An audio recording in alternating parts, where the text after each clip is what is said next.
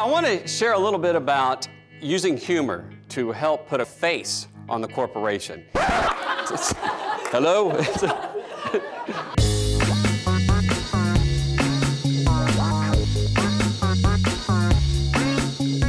now, let me give you two examples. I'd like to show two examples, if I may, uh, of, of consumer companies, two short advertisements where there's humor. And these are two that I was able to get the rights to, so I happen to be uh, connected to these spots.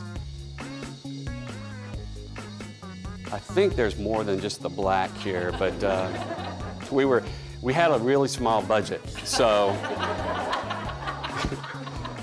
and director was a minimalist, you know, he said, look, I,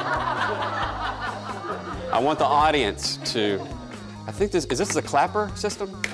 Oh, here we go. My name is Bob Hoey, and I am the worldwide VP of Sales for the mainframe division.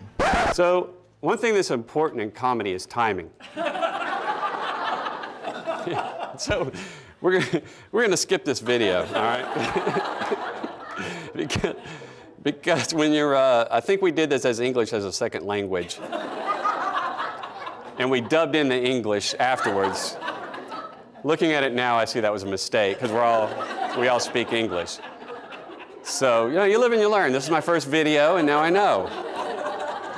That's all right. We'll skip on that. Okay, so.